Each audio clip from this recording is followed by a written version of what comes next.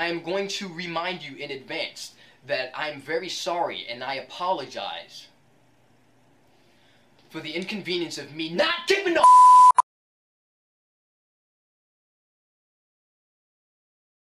This is a sad, sad, sad goddamn story of why you can't trust the media to report exactly or accurate information of what happened.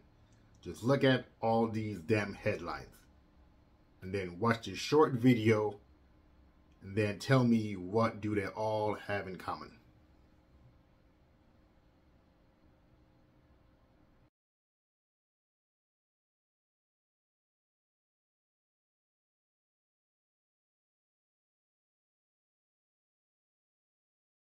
In the headline and in that video, they keep using the word allegedly. Allegedly. Allegedly what? We all know the ex-cop from Virginia drove to California. That is a long-ass drive from Virginia to California. Where did he end up? Did he have any family members in the area next to the house? No. That's actual facts. That's not allegedly. He drove from Virginia to California. That is fact.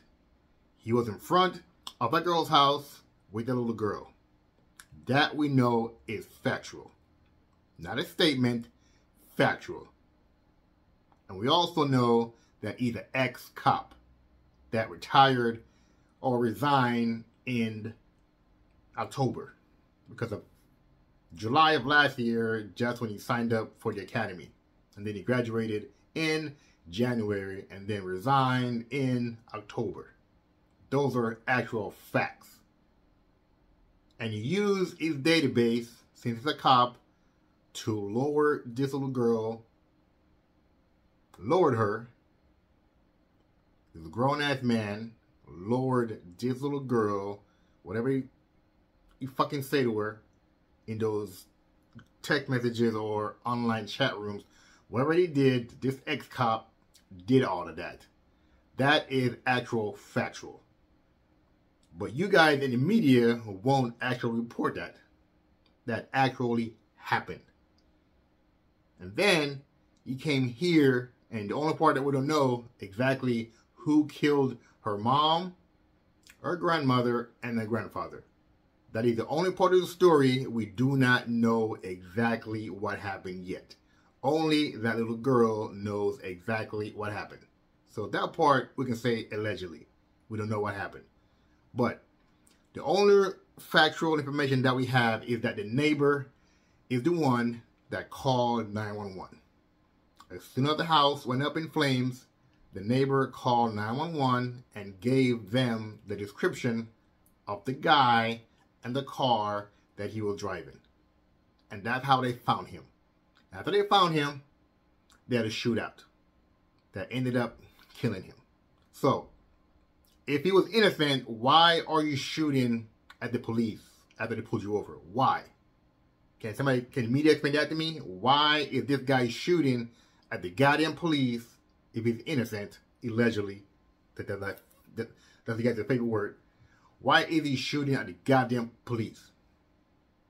Because he's fucking guilty. That's why. Innocent people don't shoot at the police. That's what you gotta tell us, black people and brown people. Why do we comply with the law? Why, why, why?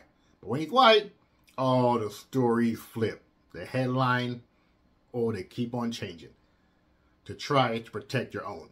Why? Just report he's an ex-cop and he abuses fucking power to lower this little girl and find her address and coming down here to do what? We don't know yet until that little girl get her counseling because right now she is traumatized and she is fucked up in the head. Whew. She is fucked up in the head. So until we get the actual facts on that end, then we can say allegedly. But we all know that little bastard drove all the way from Virginia to California and he used his power when he was a damn cop to find this little girl's address and who knows what else. But just give it time. So when it comes out, you're gonna say, "Oh shit! Oh, that, that's what happened." But I'm pretty sure when that information does come out, the media is not gonna cover it. Fuck no, they're not. They're gonna sweep it under the rug, like you always do, because he's a white man. A white man. And all you parents out there, I need you right now to go in your goddamn kid's room and ransack that shit jailhouse style.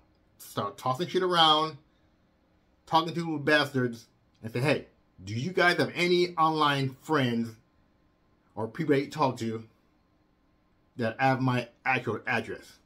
Because I don't want to goddamn die, me being home, chilling, this thing I know is as a fucking stranger coming in my house, killing me and my goddamn family because of you.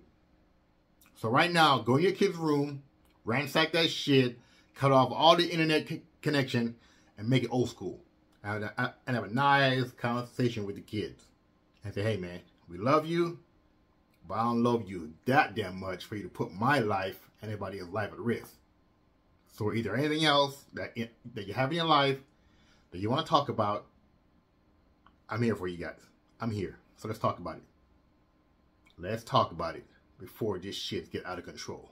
Catfishing somebody. Grown ass man catfishing a little girl. Why? There's a lot of there is plenty of women your age and older legally that you can go after. Legally. There's a lot of women everywhere, man. Why? Why do this? Why go after little kids, man? Why abuse your power? We like to know. Why abuse your power?